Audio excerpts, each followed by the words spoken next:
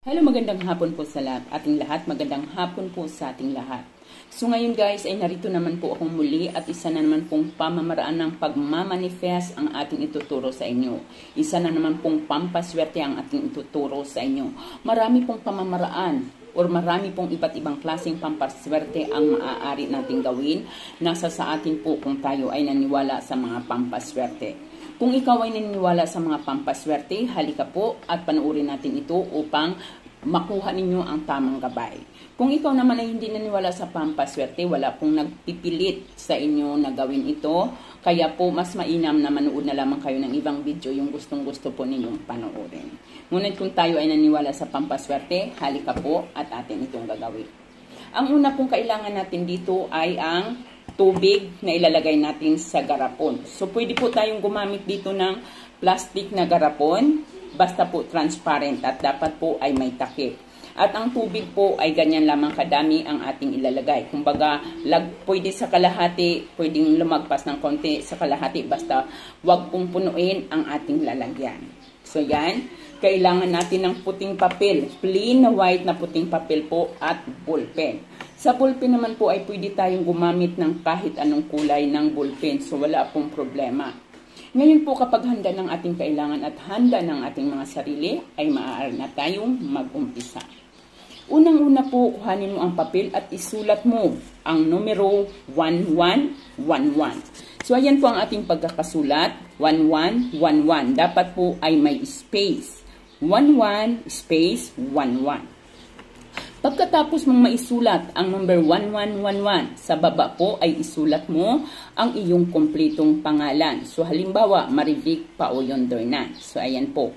Sa baba naman ng iyong pangalan na iyong pinagsulumatan mo ay isulat mo ang currency sign ng inyong pera. So halimbawa, ikaw ay nasa abroad, sa US ay isulat mo yung dollars na sign. Ngunit kung tayo ay nandito sa Pilipinas, ilagay po natin ang sign piso ng tatlong beses. So, ayan po, tatlong beses ko pong sinulat ang piso sign. Ayan ang piso sign. Sa baba po ay ang halagang kailangan kailangan ninyo. So, piso sign at saka yung halagang kailangan ninyo, piso sign at nilagay ko po dyan 50,000 pesos. So pagkatapos po niyan guys, ayan na, nailagay na natin iyan. Nailalagay na natin iyan, ay atin pong tutupiin ang ating papel or atin itong irorolyo. So irorolyo po natin, papasok po ha. Irorolyo po natin ang ating papel. So ayan na po, narolyo na po natin ang ating papel. Pagkatapos po niyong mairolyo, ay ilagay natin ito sa loob ng ating garapon. So ayan po guys, ilalagay po natin ito na ating nirulyo na um, na papel. Pagkatapos po ay takpan mo itong maigi. Takpan mo itong maigi at pakatitigan mo ito. Pakatitigan mo ang garapon na ito, pati yung papel sa loob at mag, mag ka, magpaganahin mo yung yung law of attraction. Kumbaga namnamin mo, um, damhin mo yung enerhiya pakititigan mo siya ng mga ilang segundo o ilang kahit isang minuto at damhin mo, paganahin mo yung iyong law of attraction habang binibigkas mo ang iyong mga ninanais, ang iyong intention. Pagkatapos mo po siyang pakatitigan ay dahan-dahan mo siyang hawakan at muli habang pinapagana mo yung iyong law of attraction ay muli mong bigkasin ang iyong intensyon at ang iyong kahilingan habang ikaw ay talagang nakafocus. Kung baga nakafocus, kung baga ikaw ay nag, nag-meditate habang atin itong hinahawakan at binibigkas mo ang iyong intensyon. Pagkatapos mo niyan, hindi tapos ka na. Tapos ka ng humiling. Pagkatapos po ay tiyakin na takip na takip ito ay ilagin mo ito ng labing isang beses. 1, 2, 3, 4, 5, 6, 7, 8, 9, 10, 11.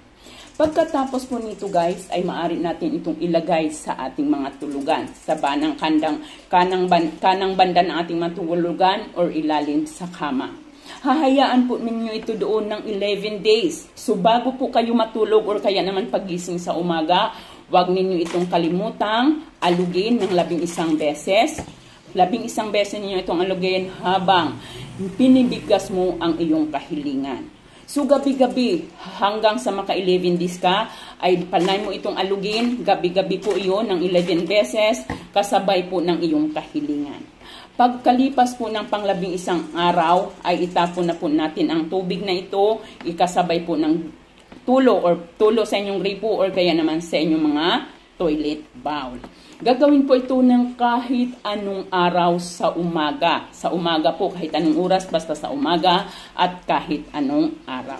Ayan po lamang guys, buong ulit natin pinapaalala kung ano man ang ginagawa natin sa buhay ay lagi po nating samahan ng pagsisikap at panalangin. Siyempre, nandun po pagsisikap, panalangin at siyempre dedikasyon at paniniwala sa ating mga ginagawa. Ayan po lamang guys, maraming maraming salamat at magandang hapon sa ating lahat.